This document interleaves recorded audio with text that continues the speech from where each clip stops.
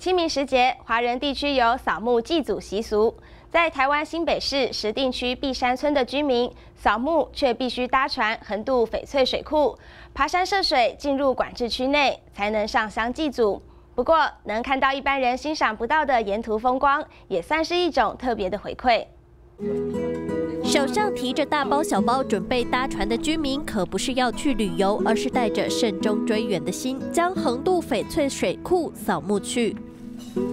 十多年前，为了提供大台北地区饮用水，新建了翡翠水库，而上游北势溪中段的碧山村就此沉入水中，村民也被迫迁村。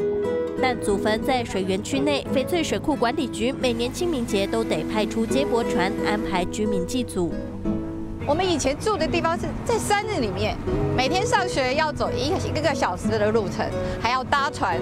才可以到到对面读书。那现在已经呃翡翠水库呃呃涨起来，所以我们都圈村到外面。那每年呢，只有呃四月五号这一天清明扫墓才可以呃有那个翡翠水库的管理局这么好的服务派船，让让我们再回去我们的呃祖先祖坟扫墓。除了背着大包小包的贡品，居民们还得手持镰刀清理出一条通向墓地的道路，有时还得凭着记忆寻路。为了保护台北市民的饮用水质量，管理局一般禁止向公众开放大坝和水库，只有在每年扫墓期间才破例提供前村民搭船的服务。